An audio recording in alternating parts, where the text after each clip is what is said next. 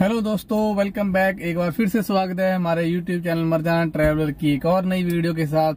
Hope है आप सब लोग ठीक ठाक होंगे, सब लोग खुश होंगे, सब लोग सही सलामत अपने घरों पे होंगे। आज की वीडियो बना रहा हूँ मैं, न्यूजीलैंड में खर्चा कितना होगा? एवरेज एवरेज खर्चे की बात करेंगे आज लोग। अगर आप यहाँ पे रहते हो तो यहाँ पे आपका बेसिक चीज़ों में मतलब कोई फैंसी चीज़ नहीं करनी, कोई मतलब जो बिल्कुल बेसिक है, जिसको आप अवॉइड नहीं कर सकते किसी भी हालत में, चाहे आप कितना भी बोलते ना कंजूसी कर लो या कितना भी संयम से काम ले लो, पर आप इस खर्चे को, इन खर्चों को अवॉइड नहीं कर सकते। ये आपके बेसिक खर्चे हैं।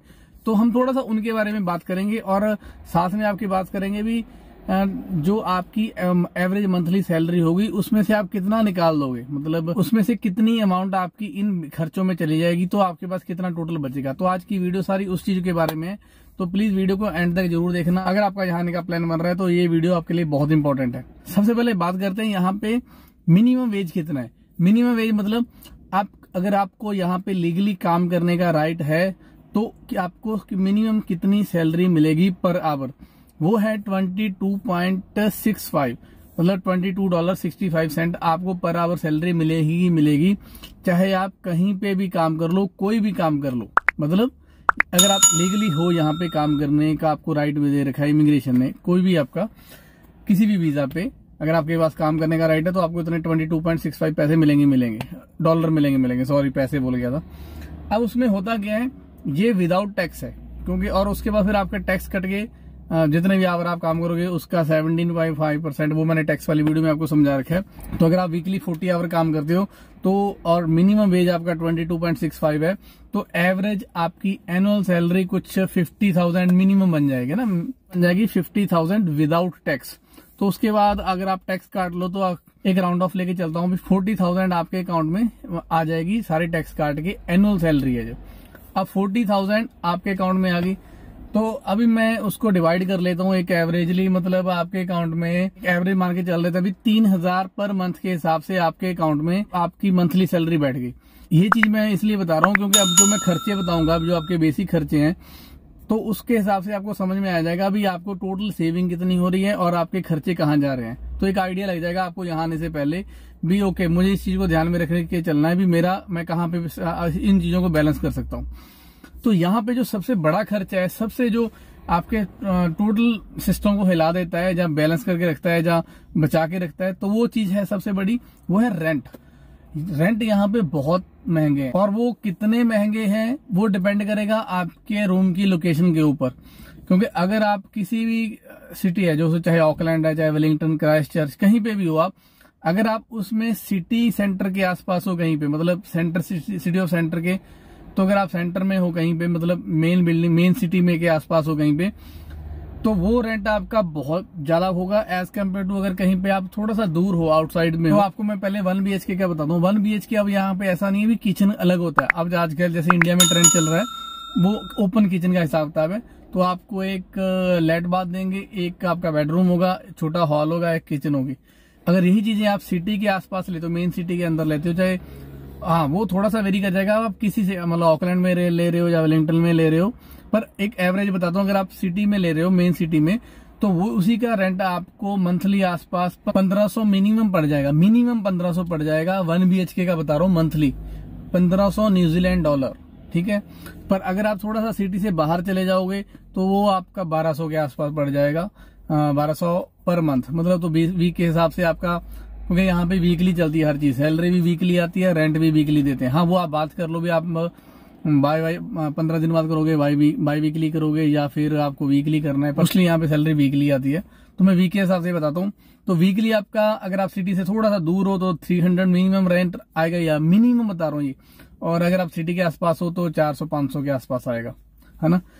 तो ये है नॉर्मल रेंट हाँ ये थोड़े से रेंट और सस्ते हो जाते हैं जहाँ पे फ़ार्मिंग वगैरह ज़्यादा होती है क्योंकि यहाँ के घर बड़े होते हैं ना। तो अगर आपको सेम रेंट भी मिल रहा है जैसे आप अगर चार सौ रुपया चार सौ डॉलर वहाँ पे दोगे तो वहाँ पे आपको हो सकता है दो टू बी एच के मिल जाए। क्योंकि वहाँ पे इतना क्राउड नहीं है इतना ना?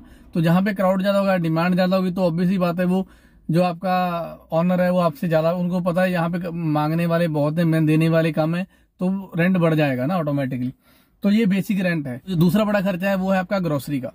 ग्रोसरी में आप बेसिक खर्चा मैं बिल्कुल एक बंदे का बता रहा हूँ। मैं भी दो बंदों में जा नहीं रहा, इसलिए मैंने वन बी के बताया। अगर आप एक बंदे के हिसाब से बेसिक खर्चा मान के चलोगे ग्रोसरी का तो पर वीक का बताऊँगा मैं। पर वीक के लिए आपका, आप हंड्रेड डॉलर मान लो। अगर आप खाना घर पे बना रहे हो, अगर आप खाना घर पे बना रहे हो, उस हिसाब से बता रहा हूँ। क्योंकि बाहर तो फिर आप कुछ भी खा लो, वो मैं बता रहा हूँ। इसलिए मैं आपको वो बता रहा हूँ मैं आपको बेसिक बता रहा हूँ। मतलब आप मान के चलो मंथली आपका थ्री हंड्रेड के आसपास होगा। अगर आप खाना अगर आप खाना घर पे बनाते हो, क्योंकि अगर आप बाहर खाओगे तो रोज के आपका मिनिमम बता रहा हूँ, रोज का एक टाइम का दस डॉलर मान के चलो, दो टाइम भी खाना हुआ, बीस तो वो तीस दिन का आपका छह सौ हो गया। तो वो आपका बढ़ जाएगा, वो आपको डिपेंड करता है आप कैसे अपने आप को अरेंज करते हो। इसलिए मैंने एक वीडियो भी प्रिपेयर की है, जल्दी मैं अपलोड भी करूँगा अभी। यहाँ आने से पहले आपको किन चीज़ों पे थोड़ा सा ध्यान दे के आना है, जो आपके लिए थोड़ा सा कंफर्टेबल हो जाएगा, यहाँ पे सर्वाइव करना। हाँ तो ये हो गया, आप मान के चलो भी मैं एटी के हिसाब से भी लगाऊँ तो आपका मिनिमम मान के चलो भी तीन सौ के आसपास खर्चा है सिर्फ़ ग्रोसरी ग्रोसरी का।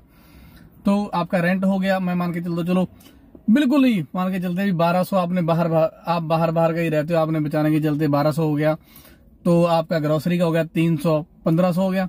अब अगर आप बाहर रहते हो तो ऑब्वियस ही बात है, जहाँ पे भी आप काम करोगे, जहाँ जहाँ पे आप पढ़ने जाओगे, जो भी आप करोगे तो वो उसका ट्रांसपोर्टेशन चलेगी तो आपका ट्रांसपोर्टेशन का भी होगा। मिनिमम मान के चलते हैं भी आपने कार्ड बनवा लिया, सौ डॉलर लगा लो आपका, क्योंकि आपकी ट्रैवलिंग बहुत होनी है। कार ले ली, तब भी आपका सौ डॉलर का तेल लग जाना है। हाँ ये अभी उसमें टाइम बच जाएगा, अगर आपके पास कार भी है तो। तो सौ डॉलर का उसका मंथली वो लगा लो। मिनिमम मान रहा हूँ मैं मिनिमम मिनिमम तो आपका कितना हो गया? सोलह सौ डॉलर हो गया। अब इसके बाद आपकी चीज़ आ जाती है एक यूटिलिटीज आपकी जो बेसिक यूटिलिटी है। अब हमने सिर्फ़ रेंट की बात की है। इसमें आपका इंटरनेट भी आना है, इसमें आपकी बिजली भी आनी है इलेक्ट्रिसिटी क्योंकि इसमें आपका जो घर का स्टोव वगैरह चलना है, वो भी मैं मान के चल रहा हूँ बिजली पे चल रहा है। अभी उसका गैस वाला सीन नहीं है। गैस वाला सीन का उसका खर्च अलग हो जाता है। तो बिजली का मान के चलते हैं। गर्म पानी का भी बिजली का उसी में इंक्लूड हो जाएगा। तो सिंपल दो खर्चे लेके चलते हैं इलेक्ट्रिसिटी और आपका वाईफाई वगैरह का। आपका मिनिमम भी मंथली आपका 200 डॉलर उसका है। ठीक है जी? 200 डॉलर हो गया। कितना हो गया आपका? 1600 और दो, अठारह हो गया। इसके अलावा आपका ज़्यादा वो खर्चा नहीं है। इसके अलावा आप छोटा मोटा मान लो भी चलो कभी कभार आपने थोड़ी शॉपिंग कर ली मंथली दो कपड़े ले लिए जीन्स ले लिए, या आपने कोई कोई मूवी देख ली कभी कभार या कभी कभार बाहर से खा लिया। इन सब का मिला के आपने चलो अठारह सौ हो गया, दो हज़ार हो गया। तो आपका ये दो हज़ार खर्चा है। दो हज़ार डॉलर पर मंथ हो गया आपका। कमा आप रहे हो तीन हज़ार तो आपका हज़ार डॉलर बच गया। ये तब है अगर आप थोड़ा सा कंट्रोल से चलते हो और थोड़ा सा समझ के चलते हो, है ना, इन चीज़ों को। हाँ इसमें मैं आपको थोड़ा सा इधर उधर का बता देता हूँ कहाँ पे वेरिएशन आती है। जनरली स्टूडेंट लोग क्या करते हैं, जो अच्छी बात है, मैं मैं इस चीज़ को बहुत रेकमेंड करता हूँ। अगर आप स्टूडेंट लाइफ में हो तो आप इस चीज़ को थोड़ा सा गलत मत लेके जाओ। इस चीज़ को इस चीज़ में सोचो भी इस चीज़ का बेनिफिट आप अपनी फ़ीस भरने में या किसी और चीज़ में यूज़ कर सकते हो, जो भी आप पैसे बचाओगे, मैं तरीका बताता हूँ। वो क्या करते हैं, मिलके थ्री बी एच के ले लेते हैं। अब थ्री बी एच के अगर मैंने बताया, तीन का, तीन सौ का वन बी एच के मिल रहा है तो आपको छह सौ का थ्री बी एच के मिल जाएगा। तो जहाँ पे आप एक बंदा तीन सौ दे रहा था, अब एक बंदा दो सौ देगा। आपने सौ डॉलर वहाँ बचा लिया। तो अगर आप मिलके खाना बनाओगे, जो मैंने आपका मंथली तीन सौ बताएगा, आप सौ डॉलर आप वहाँ पे भी बचा लोगे। अगर आपका सिमिलरली अगर आप इकट्ठे रह रहे हो इलेक्ट्रिसिटी और वाईफाई में, क्योंकि प्लान तो आपका मान लिया, आपने सौ वाला था, आपने डेढ़ सौ वाला प्लान ले लिया वाईफाई का। पहले आप सौ अकेले दे रहे थे आप डेढ़ सौ तीन लोग मिलके देंगे, पचास डॉलर आपके हर बंदे के वहाँ बच गए। तो ये सारी चीज़ें जहाँ पे आप पैसे बचा सकते हो। हाँ वो अलग बात है अगर आप फैमिली के साथ रहते हो अगर आप कपल हो तो वो चीज़ें अलग होती है। मैं एक स्टूडेंट लाइफ की बात करता हूँ।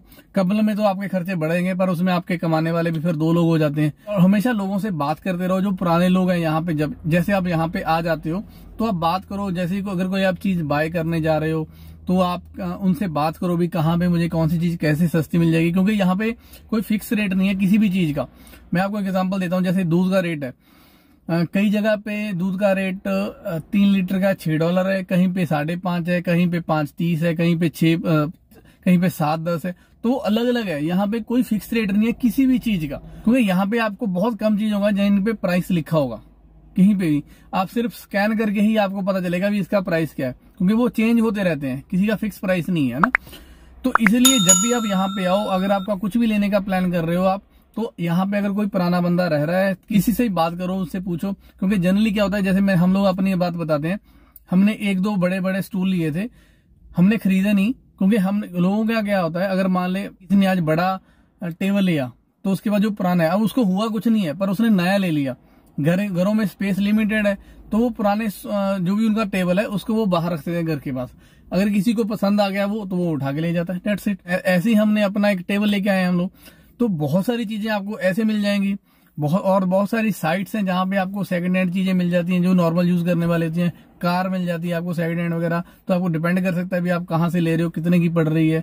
तो ये सारी चीज़ें हैं। तो अलग अलग जगह पे आपको टिप्स मिल जाएँगे लोगों से भी। आप कहाँ पे कितने पैसे बचा सकते हो? कहाँ पे पैसे बचाने आपके लिए बेटर है? आपको फ्यूचर में दिक्कत नहीं आएगी। कहाँ पे आपको लग रहा है यार, यहाँ पे थोड़ा इन्वेस्ट कर दो। यहाँ पे कोई तुम वो सेकंड हैंड वाली चीज़ में रिस्क मत लो यहाँ पे फ़र्स्ट हैंड लेनी ज़्यादा बेटर है।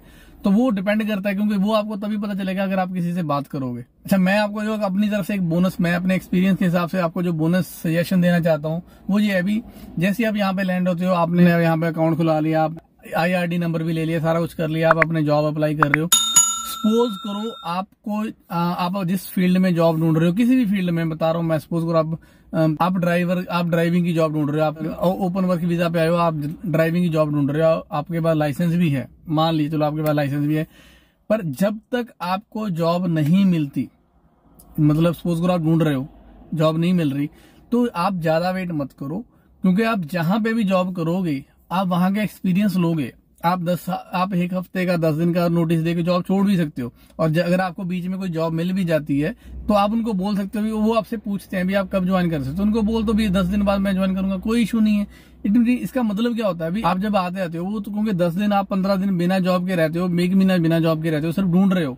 इसमें मैं ये नहीं कह रहा भी आप आप ढूंढ रहे हो, आप जानबूझ के नहीं कर अगर आपको कोई जॉब मिल रही है तो कर लो, क्योंकि अगर आपने कहीं अप्लाई किया है, तभी आपको मिल रही है, और अगर आपने अप्लाई किया तो कुछ सोच के किया होगा तो जॉब कर लो।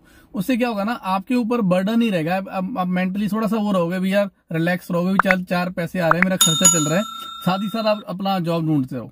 ये मेरा ये जहाँ पहुँचने के बाद आपका पहला स्टेप यही होना चाहिए भी काम लेना है मुझे। अगर आप आई किसी पर्टिकुलर जॉब पे रहे हो तो अलग बात है पर अगर आप नॉर्मल आ रहे हो तो बस आपका फोकस होना चाहिए भी मुझे काम लेना है बस। क्योंकि अगर आपका काम मिलेगा इनकम आएगी तो आप हर चीज़ को अच्छे से सोच सकते हो। फिर भी अगर कोई चीज़ मेरे से मिस हो गई हो तो मुझे कमेंट करके बताओ मैं ट्राई करूँगा उसको फिर से आ, कवर करने की। बाकी आप लोग हमारे चैनल को सपोर्ट करो सब्सक्राइब करो अपने दोस्तों के साथ हमारी वीडियोस को शेयर करो। बाकी खुश रहो प्यार बांटते रहो तब तक के लिए रब रखा